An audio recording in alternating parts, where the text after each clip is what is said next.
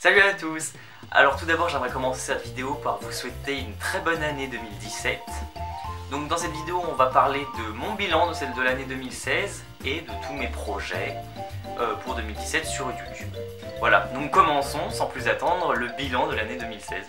Malgré la mort de la princesse Leia, de Michel Galabru, Professeur Rogue ou Snake pour ceux qui préfèrent la version originale et le terrorisme, il est vrai que 2016 n'a pas été une année géniale.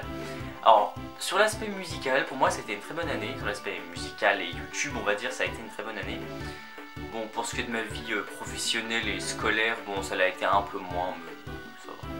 Alors déjà, on commence par les mauvaises choses. J'ai perdu ma chienne le 12 décembre quand j'entrais des cours, donc autant vous dire que j'étais pas fier du tout. Donc c'est vrai que j'ai été un peu déprimé. L'ai très bien vécu, hein. bon, j'étais pas très bien pendant 2-3 jours. Après, j'avais pas trop la motivation à faire des vidéos, donc c'est pour ça que vous avez observé un peu un vide en décembre, parce que les moments où j'ai prévu de faire une vidéo, bah, euh, j'avais perdu mon chien. Évidemment, pas trop au taquet. Sinon, vous le savez peut-être, mais je suis passé en terminale scientifique, donc c'est assez dur, donc j'ai évidemment moins de temps pour faire des vidéos, parce que j'essaie de travailler un peu plus, c'est pas comme s'il y avait un diplôme appelé le baccalauréat à la fin de l'année, dont j'ai absolument besoin pour continuer mes études supérieures, donc ça serait bien de l'avoir. Alors c'est vrai que j'ai subi une assez forte perte de, de points, parce qu'évidemment on note avec des points, un système que je ne cautionne pas, mais bon on n'est pas là pour parler de ça. Euh, sur euh, mes résultats scolaires, donc, euh, donc vous inquiétez pas, je plafonne pas non plus à 7 de moyenne, hein, et j'ai quand même le projet d'avoir mon bac. Donc voilà, parce que oui, le bac c'est important et le bac, putain, je l'aurai Surtout que moi j'ai vraiment besoin d'avoir mon bac, puisque je veux faire des études supérieures en université, donc je veux faire soit du droit, soit des maths, parce que moi j'aimerais être prof. Même si mon rêve au bout, ce serait d'être professeur de français en langue étrangère. Alors j'avoue, ça n'a aucun rapport avec les maths ou le droit, mais je pense qu'enseigner la langue française à des anglais, genre aux États-Unis, je pense qu'il y a peu plus stylé. Avouez, un peu plus stylé. Bien, alors sur l'aspect musical, c'est vrai que 2016 a été une très bonne année. J'ai dépassé 1000 abonnés, qui est quand même un cap. Je veux dire, 1000 abonnés, c'est quelque chose, je veux dire, c'est pas courant de dépasser 1000 abonnés. Là, on voit qu'on commence à aller dans des choses un peu plus sérieuses. Oui, 1000 abonnés. Le jour où je suis parti aux États-Unis, le 1er juin, donc c'est vrai que c'était bah, bien quoi, déjà partir aux États-Unis euh, avec Estelle Ocarina c'est déjà formidable, mais alors dépasser les 1000 abonnés à ce moment-là, je crois qu'on faisait pas mieux, j'étais refait. Donc je tenais à vous remercier pour ça, merci d'être euh, là, merci de continuer à regarder mes vidéos et les aimer, ou pas les aimer, mais bon, ça je m'en branle. Donc oui, je suis allé aux États-Unis où j'ai eu l'occasion d'enregistrer des vidéos avec STL. Comme euh, bah, j'ai enregistré deux vidéos en fait, une un peu un peu plus sympa et une qui est vraiment musique. Je vous invite à la regarder si vous n'avez pas regardé. D'ailleurs, je vous y oblige. Allez les regarder, je vous y rassure vite tout de suite là. Si vous n'avez pas vu, il faut y aller maintenant parce que j'ai aussi pu rencontrer certains de mes abonnés. Alors ça c'est très impressionnant. Quand vous êtes en convention, parce que j'ai fait une convention aux États-Unis et qu'il y a des gens qui viennent et qui me disent ah mais je te connais, oui, je suis abonné à ta chaîne. Vous êtes là, vous êtes euh, genre aux États-Unis, quoi. Il y a quand même des gens qui s'intéressent à vous, aux pauvres Français que vous êtes, à faire à jouer de la flûte. Et des gens qui vous connaissent, qui prennent intérêt à ce que vous faites, qui, apprécient ce que vous faites. Ça, c'est franchement, franchement impressionnant. J'ai aussi rencontré des gens que j'ai toujours voulu rencontrer, comme euh, Chris Gale, que vous connaissez sûrement, qui est une ocariniste euh, assez célèbre, puisqu'elle est présidente du festival américain de l'ocarina et elle a aussi une chaîne YouTube. Donc on s'est rencontrés euh, chez elle et au restaurant, on a mangé ensemble et tout, tous ensemble. Et bon, par exemple, c'est une des nombreuses choses qu'elle m'a donné, qui est l'album, son album, qui est un album de musique classique? Bon, si vous aimez pas le classique, évidemment vous allez pas kiffer. Moi j'aime bien le classique, donc euh, j'ai bien aimé. Donc il est signé aussi. Et plein d'autres choses comme des, petits ocarina ou des... Hum, son livre de méthodo qui est absolument génial d'ailleurs, je pensais faire une vidéo pour en parler en anglais bien sûr, parce que en anglais, il n'est pas traduit. Alors j'ai pu rencontrer aussi d'autres personnes comme Jasper Sardonicus qui joue dans la vidéo League of Legends de SCL qui est vraiment sympa, juste en termes de réalisation vidéo. En termes de musique, je suis pas un grand fan de, l'arrangement, même si la musique est sympa, mais je trouve que l'ocarina est pas assez mis en valeur. Mais la vidéo est vachement sympa quand même. Donc je vous invite à aller la regarder si vous l'avez pas regardée. Surtout regardez la vidéo, pas qu'écouter le son évidemment. Hein. Parce que si la vidéo est mieux que le son, vous pouvez regarder la vidéo j'ai aussi rencontré toute la team de Estelle Ocarina, comme Sarah, la designeuse, ou euh, Juliette Cruz, que vous connaissez sûrement si vous regardez les vidéos de Estelle, qui est bah, la, fameuse femme qui représente la marque euh, bah, depuis quelques années déjà. Non, Juliette Cruz que j'ai vraiment pu rencontrer, on a mangé au restaurant aussi. En fait, quand je suis aux États-Unis, j'ai fait que bouffer. En fait, j'ai l'impression quand je suis aux États-Unis, on a fait que ça, restaurant, restaurant, puis toujours avec des gens différents. Alors, soit dans le Texas avec Chris Gale et machin chose, soit on était à Saint-Louis, et alors là, du coup, bah, on était avec toute la team tout le temps. Enfin, c'était très convivial. Les Américains vraiment un sens du respect génial. Donc si vous n'êtes pas allé aux États-Unis, franchement, je vous encourage vivement à y aller parce que c'est vraiment un pays qui est génial. J'ai aussi été exposant à la Japan Expo où j'ai pu rencontrer certains d'entre vous. Alors j'étais avec Estelle Ocarina, bien sûr, j'étais pas là tout seul en mode star, je signe des autographes. Non, on n'en est pas là. J'aimerais bien, mais on n'en est pas là. Non, j'étais là pour vendre des Ocarina avec STL et j'avoue que je vais rencontrer beaucoup plus d'abonnés qu'aux États-Unis, ça c'est clair parce que c'est vrai que j'ai plutôt un public français évidemment, vu que je suis français. Et c'était vachement bien de tous vous rencontrer. Je vous remercie encore d'être venus, d'avoir acheté ou pas un Ocarina, d'avoir joué, d'être venu. Et je voulais aussi remercier une de mes abonnées qui m'a confectionné une pochette. Et euh, une pochette absolument géniale dans laquelle je peux ranger mes Ocarina. Dans laquelle je range mon Ocarina Zelda double et que j'ai encore qui m'avait offert l'année dernière et que j'ai encore revu euh, bah, en 2016 du coup je l'avais vu en 2015 et je l'ai revu en 2016 donc il y a 6 mois et franchement c'était vraiment super de l'avoir rencontré encore une fois parce que c'est vraiment une fille qui est super alors en termes de vidéos, parce que bon on est surtout là pour parler de YouTube, c'est vrai, en termes de vidéos que j'ai produites, c'est vrai que il y en a certaines que j'ai adorées, j'étais vraiment content de les faire, quand j'avais fini je me suis dit mais putain j'adore ce que je viens de faire, malgré mon appareil photo pourri, à chaque fois que je fais du montage je vois mon appareil photo pourri, je vois que je suis orange qu'il y a du grain partout, je suis là mais putain mais bordel, il faut vraiment que j'achète un nouvel appareil photo. D'autres où j'étais un peu moins fier parce que bon, j'ai fait ça plus rapidement et je me dis qu'avec le recul j'aurais pu faire un meilleur arrangement si j'avais attendu un peu. Mais voilà, c'est fait, c'est fait maintenant, et puis bon, il n'y a rien à regretter, hein, je pense. Donc par exemple, je peux vous citer Megalovania, qui est probablement une de mes vidéos les plus vues. Alors ça, je m'y attendais, hein. Megalovania Locarina, personne ne l'avait encore faite. C'est une des musiques les plus connues d'Undertale, et Undertale c'est la grosse folie en ce moment. Enfin surtout, c'est un peu moins maintenant, mais c'est vrai qu'il y a quelques mois, c'était la grosse folie Undertale. Surtout les musiques, parce que c'est vrai que les musiques d'Undertale sont absolument géniales. Euh, mon clip sur le TLG, de toute façon dès qu'on fait un clip, les gens ont tendance à plus venir voir les vidéos. Et c'est vrai que les clips c'est vachement sympa, c'est vrai que c'est beaucoup plus sympa à regarder un clip qu'une vidéo où on est collé à son fond vert et à jouer, même si j'essaye de, de clipiser un peu ce genre de vidéo en, changeant les, les angles, en changeant ce qu'il y a derrière, en bougeant, en mettant de la profondeur. J'essaie de faire mon mieux, hein, mais euh, bon, j'avoue que c'est pas facile et que ça peut pas changer évidemment une vraie situation, je veux dire, genre euh, filmer à la plage, dehors quoi, en vrai. Je tenais aussi d'ailleurs à remercier une fois de plus la photographe qui m'a aidé, c'est une amie à moi, avec qui j'étais au collège et qui, n'est plus au lycée avec moi, mais qui, que je, est encore dans la même ville, donc on a eu l'occasion de se reparler, et qui a très gentiment accepté de m'aider, et qui a été très motivée, et c'est absolument génial ce qu'elle a fait, donc je la remercie encore du fond du cœur pour l'aide qu'elle m'a qu'elle m'a donnée. Bien, passons au projet pour 2017, car bien évidemment, c'est plus intéressant. Alors pour 2017, c'est vrai que j'ai beaucoup d'idées évidemment. On a toujours plein d'idées quand on commence l'année. Enfin, on les a eu avant, mais on fait un brainstorming, on va dire au début. Alors, qu'est-ce que je vais faire pour 2017 Donc, c'est vrai que j'ai pas mal d'idées. Donc, déjà en termes de musique, la reprise de musique, parce que bon, j'en suis pas encore à composer. J'aimerais bien, mais bon, on n'en est pas là encore. Donc c'est vrai que dans la reprise de musique, j'ai travaillé, je vous tease un peu sur les prochaines vidéos qui peuvent euh, potentiellement sortir. J'ai travaillé sur un arrangement de Ashitaka, une musique des studios euh, Miyazaki. Je trouve ça les studios, non les studios Ghibli, qui est, je crois que le réalisateur s'appelle Miyazaki, je crois. D'ailleurs, c'était son anniversaire il n'y a pas longtemps, ou un truc dans le genre. Et c'est vrai que les musiques de ces films sont absolument géniales, hein, comme Mon voisin Totoro, Le château ambulant, euh, c'est vraiment, ou Princesse Mononoke, c'est vrai que c'est vraiment des, des animés qui ont une musique, une bande son absolument géniale.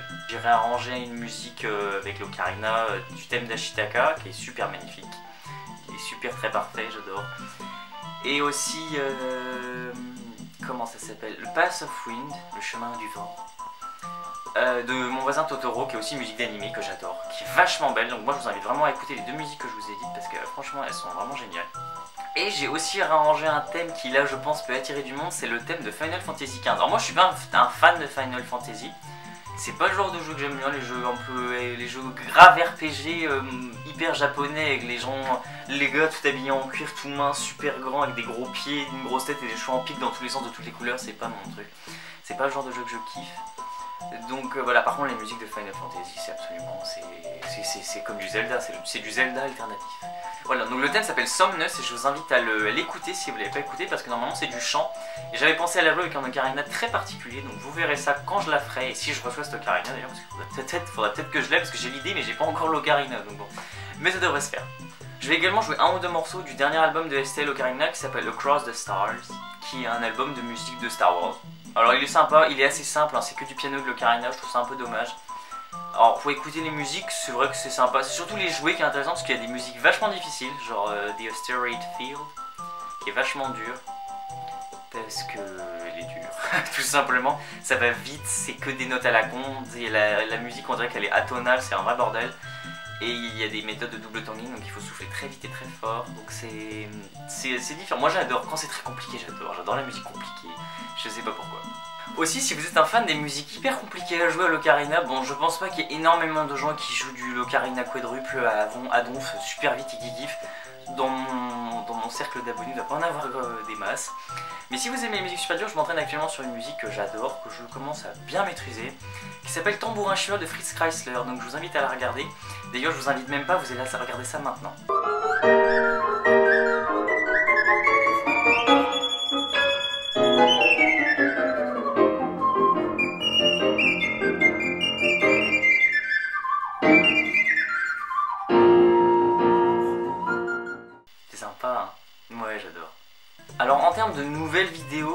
À faire ou refaire certaines vidéos explicatives comme euh, la tonalité majeure à l'ocarina c'est quoi?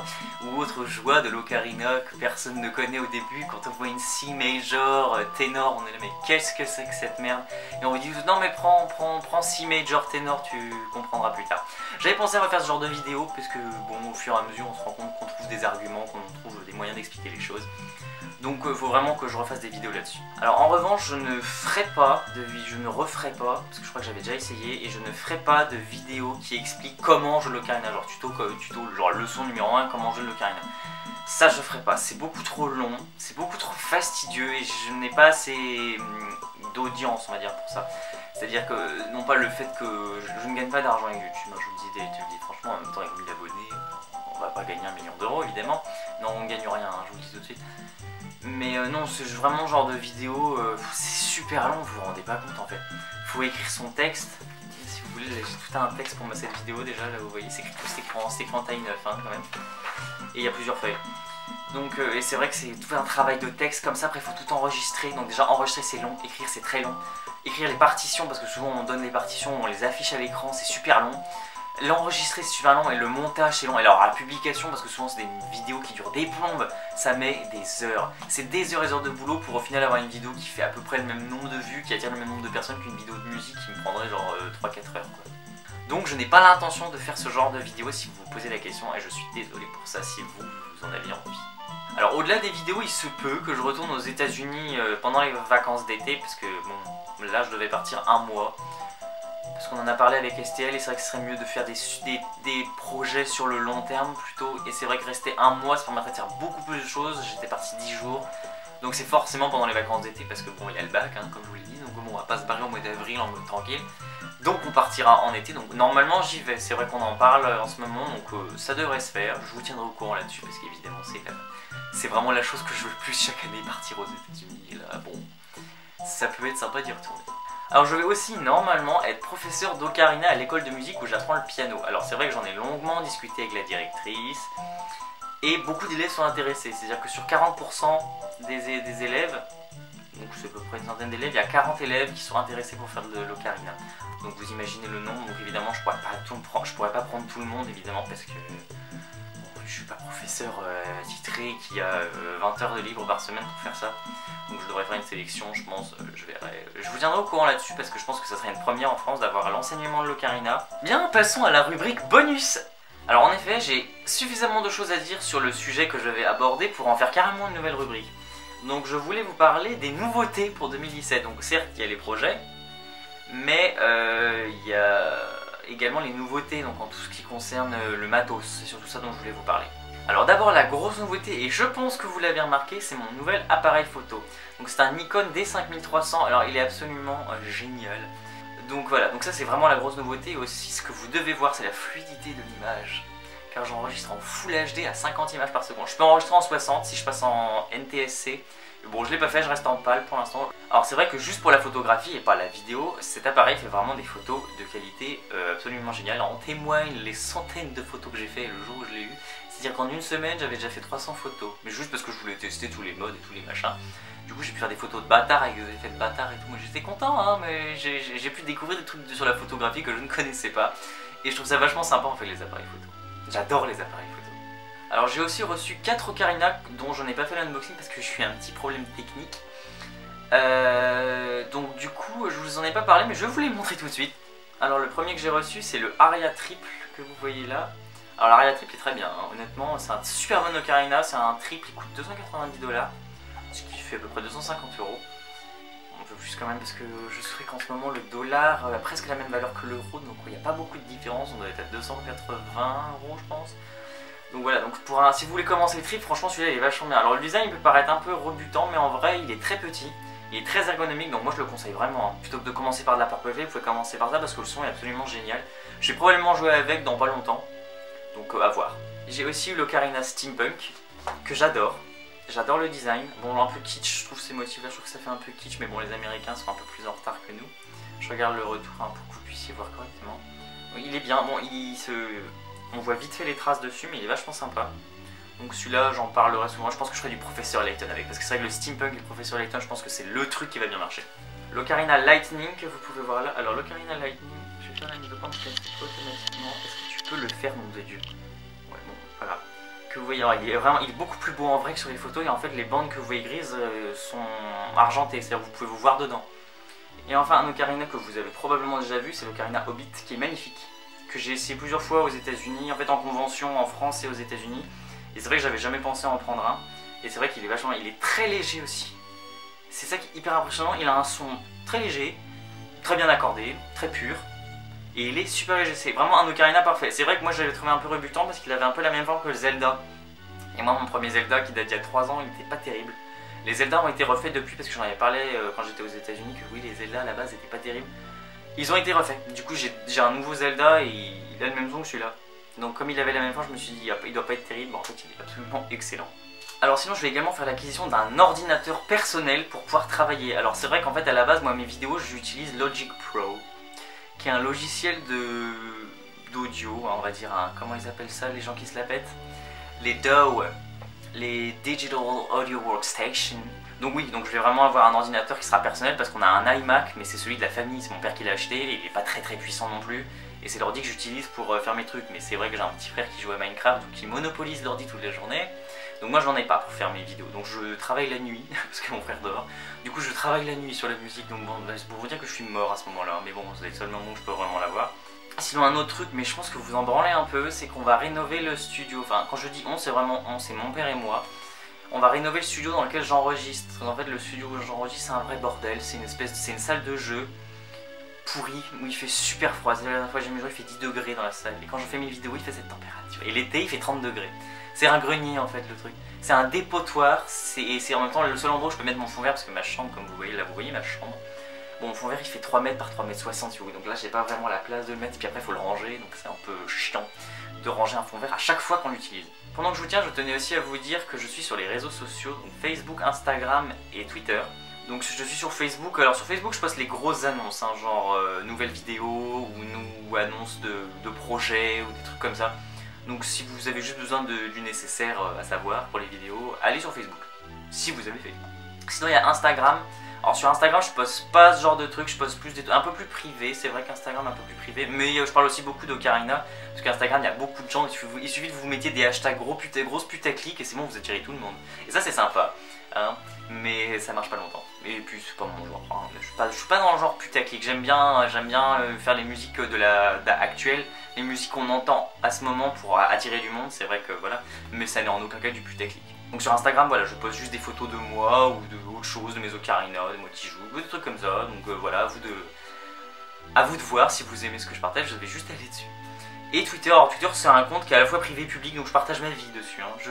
Il m'arrive de tweeter tout le temps, il m'arrive de tweeter des trucs de conneries, de retweeter de la merde, de parler de ma vie, même en général. Hein. C'est un compte sur lequel il y a mes amis.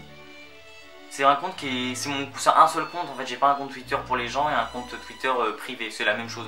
Donc si vous, vous avez envie d'être. Euh, si vous êtes plus dans un truc commerce, vous voulez tout savoir sur moi, ou euh, me parler, ou être plus, plus dans, un, dans, un, dans un truc amical et moins, moins formel que juste dire quand il y a une nouvelle vidéo, vous pouvez aller sur Twitter.